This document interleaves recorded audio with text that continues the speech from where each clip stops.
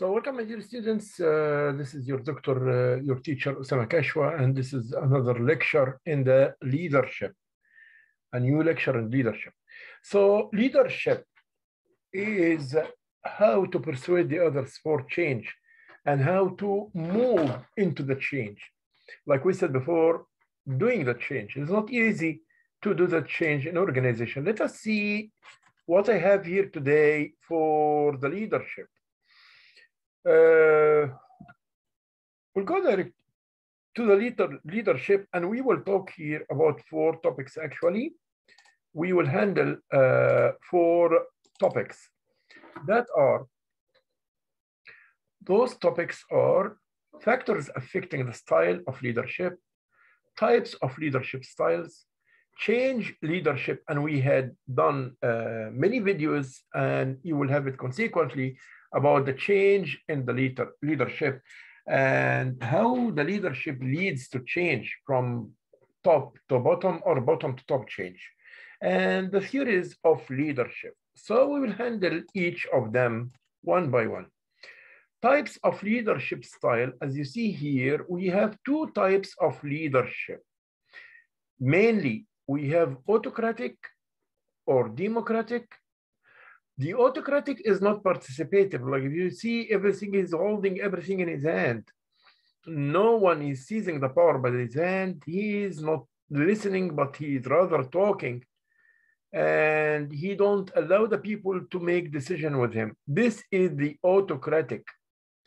Meanwhile, the democratic or participative uh, leader is another kind, which is the opposite of the autocratic. That means that uh, that is uh, like a kind of um, he allow uh, the participative allow the people to make a decision with him. They share in the decision making and they participate in all those aspects of the organization. That's what we call democratic or participative leader. On the second uh, uh, on another view, we see we have the free rein, which is laissez-faire, let the people work. So I, the leader here put the objective, the main objective for the group, and the group will achieve this objective. And uh, the other branch of it is paternalistic.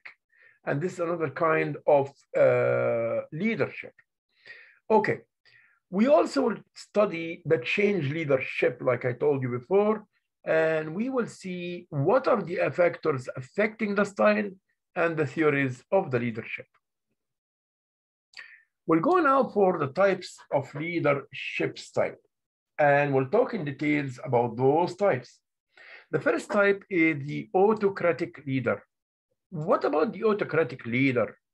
The autocratic leader makes decision without reference to anyone else. So this type is like, remember Hitler, remember Mussolini in Italy, remember all these characteristics they use to just give the, the instructions. They don't listen. They don't have ears to listen, but they just talk.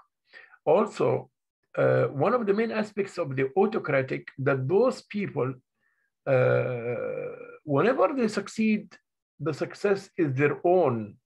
They consider the success of their own. But if the, their decisions fail, then they will blame the others, that the others are the reason for this failure. So those are the autocratic uh, characteristics they have high degree of dependency on uh, the leader. There will be in the organization where there is autocratic leader, all the employees will depend totally on the leader because they cannot do, make any decisions without getting back to the leader, can create a demotivation and alienation of staff. And this is also frustrating the people because it leads to demotivation, which is the opposite of the motivation. The meaning of demotivation, the word demotivations, goes to that I'm frustrated. I don't have motivations to work. And this is the core meaning of the demotivation. Okay, We have also, uh, so the people here in the organization, where is, where is autocratic leader, in this kind type of organizations, the people will totally depend on the uh, leader. They cannot make decision of their own. I remember I worked in a college. There was an autocratic leader before, and she used to keep the key of the safe box with her, where the stamp of the exams. Uh, so if she was absent, that means everything will stop. All the work will be totally stopped till she come back because she depends, she sees the power for her own self and she does not allow a new generation to participate in decision making. All these are the aspects of the autocratic and also every one of us as teachers used to depend on her. We cannot make a decision without going back to her because we feel that if we did something and she blame us after she will blame us and say, why you didn't come back to me to ask me? Why you didn't get back to me to ask me about uh, this decision? Why did you do the decision by yourself? So the autocratic leader is a kind of style which is unwanted, undesired in any organization. It's a type that it looks only for its own benefits and its own needs. And he consider also that, or she consider also herself, that she's the one who understand and the others know. And she will carry on the responsibilities of the decision in all the cases. So she is very afraid, or he is very afraid to delegate the authority. All those are the characteristics of the autocratic leader. Also, may be valuable in some types of uh, business, yes. As example, the autocratic, the autocratic which we are talking about can be valuable in military units, that's fine, because it's based on the orders, that should be fine, but not in a college or in a school or in a place where, in a factory, where the decision depends upon the information which comes from the lower levels and help the decision, the, the decision maker to make his own decision. So where decisions need to be made quickly and diverse decisively means accurately. So in that case, yes, uh, the autocratic leader is very welcome because you don't need in that case to take people's minds. As example, on the fire, uh, like a fireman, the fireman, their leader shouldn't be like participative and they tell them, shall we put the fire off or we, we make a meeting for making the fire, putting the fire off? No, because if he do this, if this is done, then the fire will come all over the place.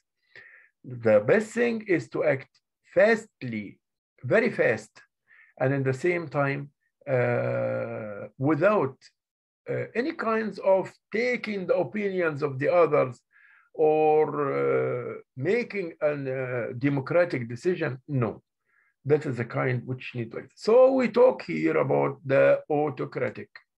I will go now uh, to the, here I will insert um, and say my first question today, uh, discuss the autocratic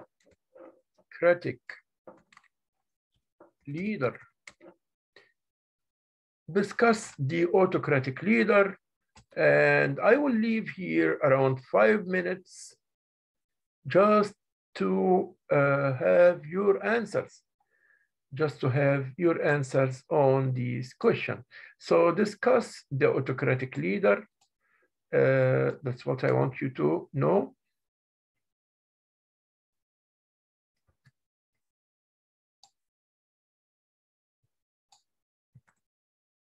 Uh, that's what I want you to answer right now. Discuss the nature of the autocratic leader. Yeah.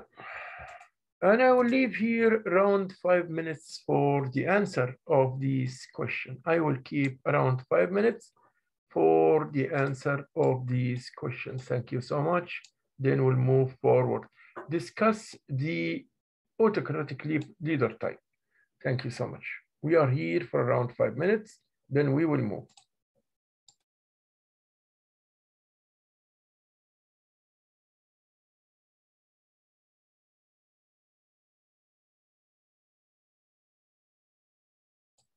Welcome, my dear students. We are back here. We are back here for the second part of our work today.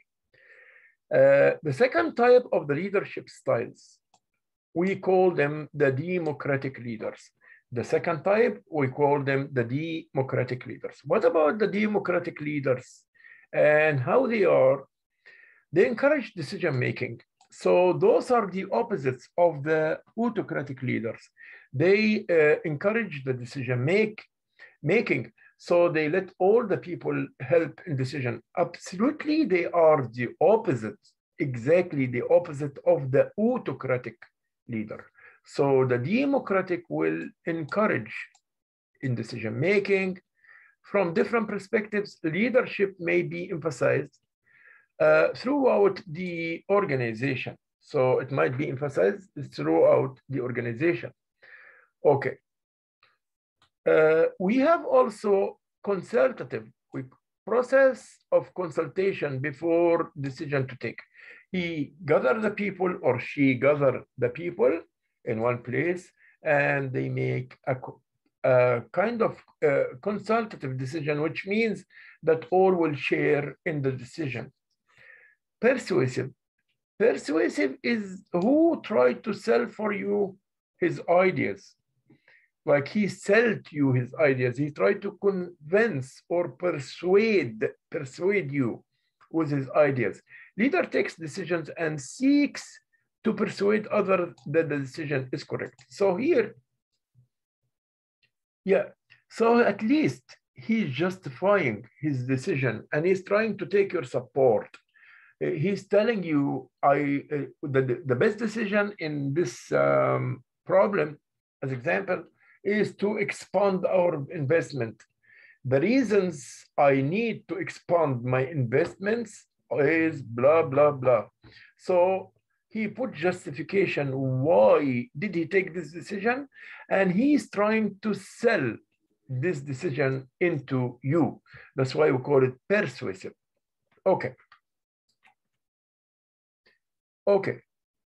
We're talking about the democratic may help motivation and involvement because the people here, when they share in the decision, because in the democratic style, people share in decision making. So in that case, that will increase their own motivation. Workers feel ownership of the firm. Yeah, because I share, I, I share in all the decisions, I participate in all the decisions, so I feel always that I am a part of this company. That's why.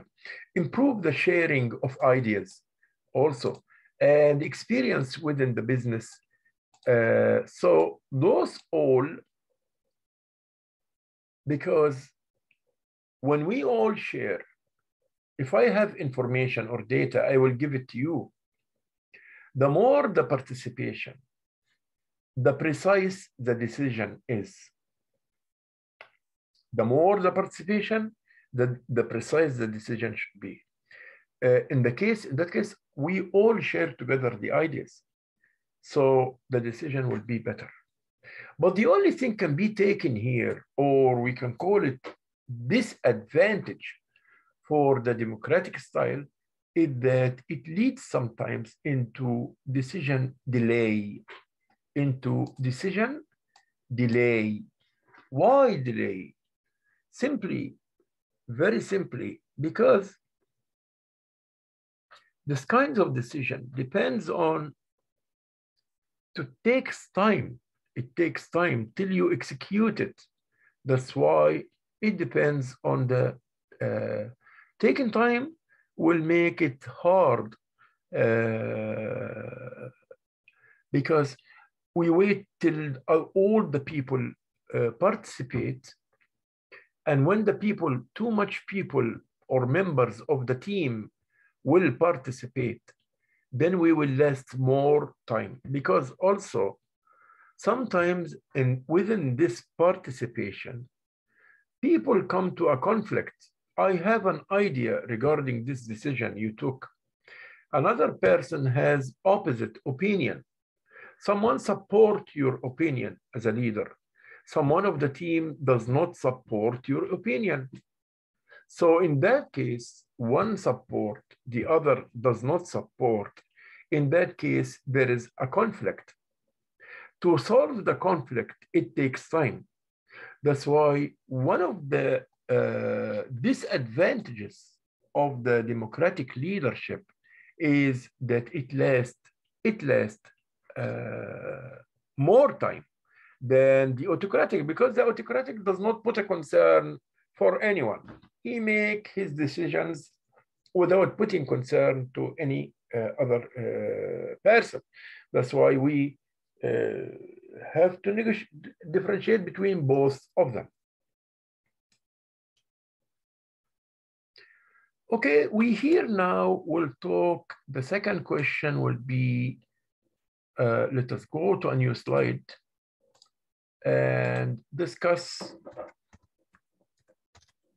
the democratic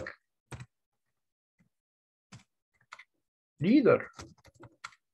Discuss what you know about what you know, discuss or discuss the democratic leader. Uh, so talk about the democratic leader. What do you know about the democratic leader? How he works and so on. So discuss the uh, democratic leader. This is our second question today.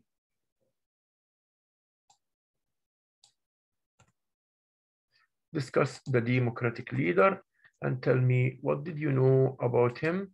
And actually, uh, I would like to take to receive your answer on the chat box. Uh, that will be fine. If your answers on the chat box, that will be fine. Uh, the chat box is here. Let me show it to you for some students who does not know. This is the chat box, so you can answer on the chat box. Okay, we'll give you around five minutes, then we'll move. We'll leave here, keep five minutes, then we will move forward. Thank you.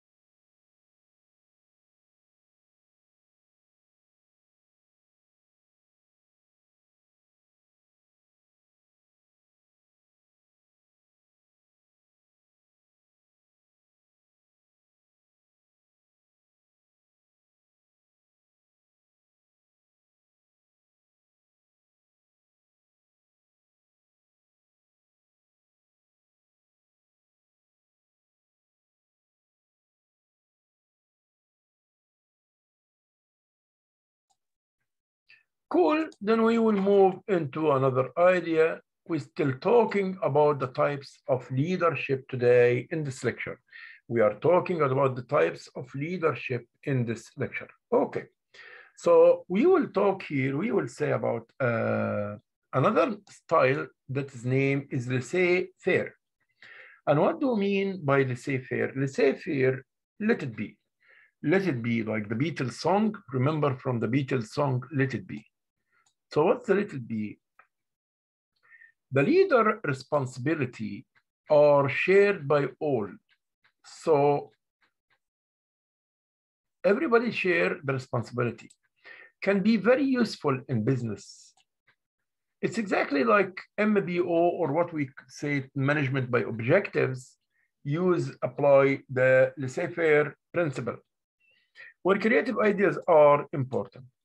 Can be highly motivational, yeah, as people have control over their work life.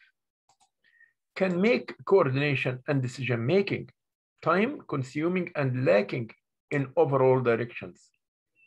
Relies on good teamwork because he trusts the others. He trusts all around him. He knew what they are doing. So relies on good interpersonal relations also. This is one of the main points for the laissez-faire or let it be. Uh,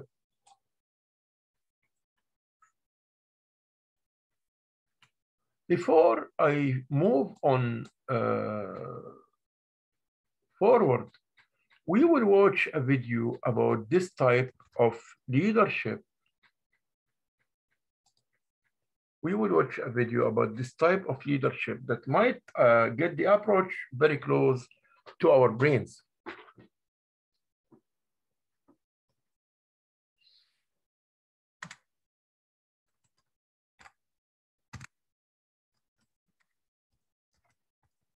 And I hope we will get a good uh, video, a short one that will help us to understand the idea of the laissez-faire type of. So uh, this one, I think,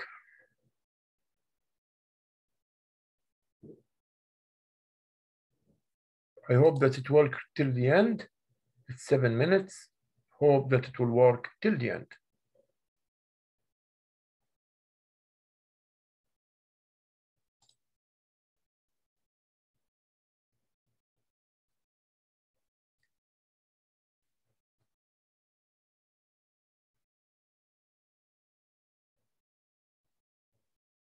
Let us see uh, this video and the site is uh, study.com.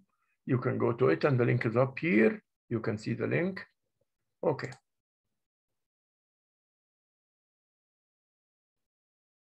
Many of us choose to be in social groups because there are a number of benefits that we receive as members. We may choose to be in a group for instrumental or task reasons so that the other group members can help us accomplish something. Or we may choose to be in a group for expressive or emotional reasons so that the other group members can provide us with companionship, love, and security. Think about our social groups in the context of leadership. There are typically two types of leadership instrumental and expressive. Instrumental leadership focuses on achieving goals. Leaders who are dominantly instrumental work to maintain productivity and ensure the tasks are completed. So the instrumental leadership, they focus on work more than they focus on people. They focus on the work more than they focus on the people. Okay. They make good managers because they get the job done. However, they are often so focused on the task that they can alienate other members of the group. Expressive leadership, on the other hand, focuses on maintaining group cohesion. Leaders who are dominantly expressive work to maintain warm, friendly relationships. So here, this kind, this style, focus more on the people. So we have the first one, focus more on the work, and the expressive leader will focus more on the people. Okay. And ensure that collective well-being of the group. They make good bosses because they truly care for their employees. However, they are sometimes lacking efficiency and organizational skills. Although most leaders are dominantly instrumental or expressive, both styles are needed for groups to work effectively. So, the most effective leaders have the ability to use the style that best fits the situation. They can. Here I have to comment a small comment. She's saying the style that's suitable to the uh, situation, which means uh, which means that not all the time you are instrumental and not all the time you are expressive, but you have to hold the thread from the middle. So uh, not always instrumental and not always expressive. Switch from being instrumental and focusing on the task to being expressive and focusing on collaboration whenever they see a need. Beyond dominant leadership types and abilities, leaders also vary in their decision making styles. There are three basic styles of leadership decision making authoritarian, democratic, and laissez faire. Leader So here we have the main three branches, like we talk about, the authoritarian, the democratic, and laissez-faire, which we are just talking about them now. So let's go and see. Leaders who use authoritarian decision making make all the major group decisions and demand compliance from the group members. Authoritarian leaders typically make decisions on their own and tell other group members what to do and how to do it. Authoritarian leadership can be beneficial when a decision needs to be made quickly or when a project or situation is particularly stressful. For example, imagine you're a member of the Okay, so this was a part regarding uh, the democratic and leadership and uh, uh, here also we have leader style. I need a small one. We can come to it later, later on. Uh, maybe this one is very short for one minute. Can tell us also about the leadership styles. I hope that it won't be uh, like it's all about four minutes. There is no need to even to cut it. There are many highly effective leadership styles.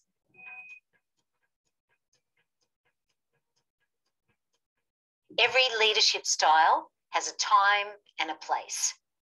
The laissez faire leader, for example, is one who recognizes that people have the ability to take the work and just run with it. They are not micromanagers. A laissez faire leader recognizes that that is the optimum style for people who know what they're doing. Now, I know that this sounds very obvious.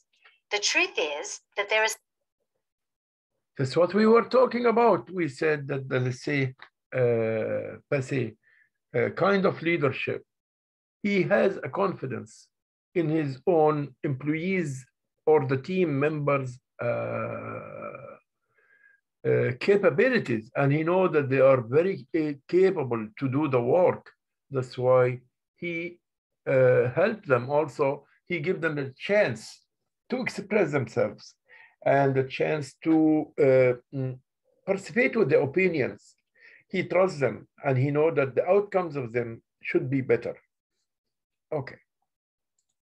some people who do need more guidance. They do need a more hands on type of leader because they are still learning their position. They are still learning their role. They are still learning the tasks associated with their job.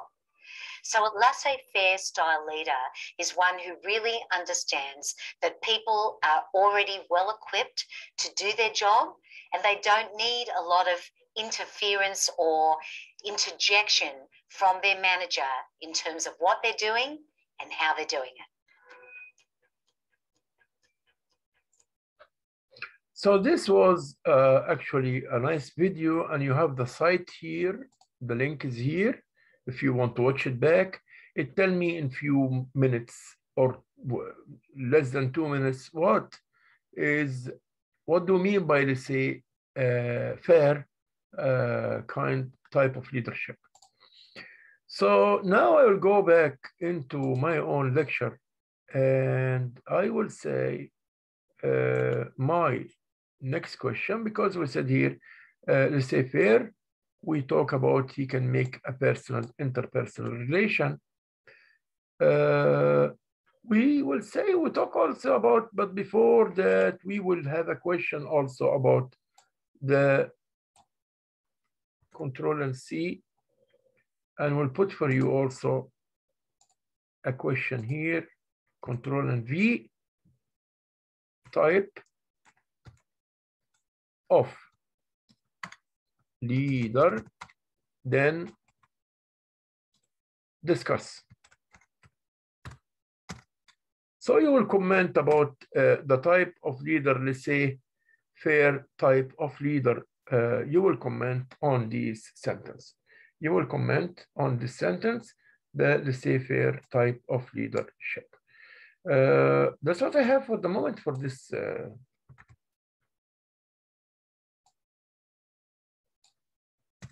Also answers should be received on the chat box. Let me remind you, the chat box here is the chat box. So you can send the answers on the chat box.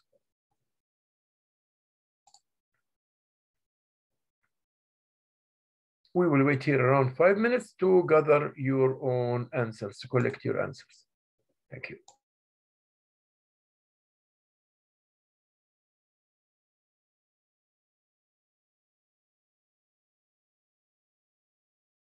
So we are back for our work. We are back. And we will talk here also about the, uh,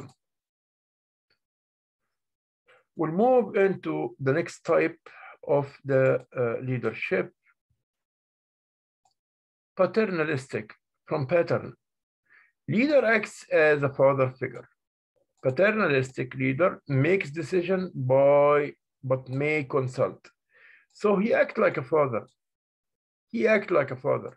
And at the same, same time, he also makes decisions, but may consult. He's the one who do the, who, he's the one who do actually the decisions, but he might ask for consultant also. Believes in the need to support stuff. And he believe in the needs to support somebody. He's always giving his hand to his stuff. Uh, okay, this type of leader or the paternalistic, paternalistic pattern from pattern, again, I'm saying he is a father figure.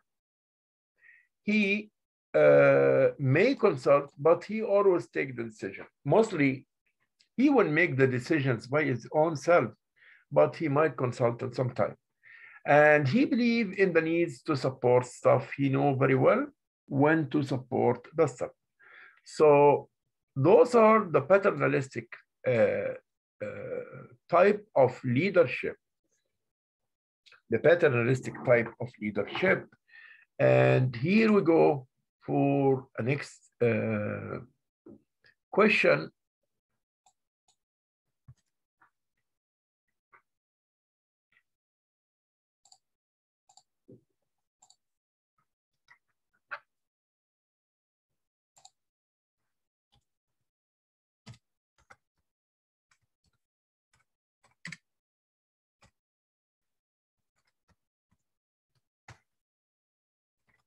Here we go to our next question here today about the uh, paternalistic type of a leadership. And just let us watch it together. Let us uh, answer this question. And I will say here around five minutes, you can send your answers also on the chat box. That will be fine. The patterns of leadership, paternalistic, this is the uh, another type of leaderships which we handled today together. So we'll stay here around five minutes to have your answers. Then we'll move forward to another part. Thank you.